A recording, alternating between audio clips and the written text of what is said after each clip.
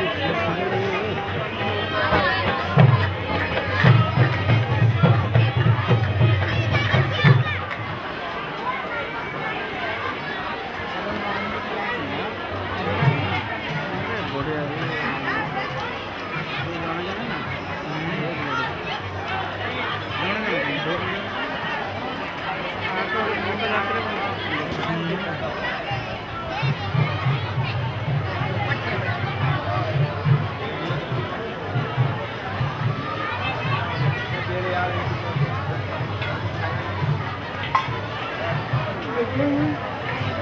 ये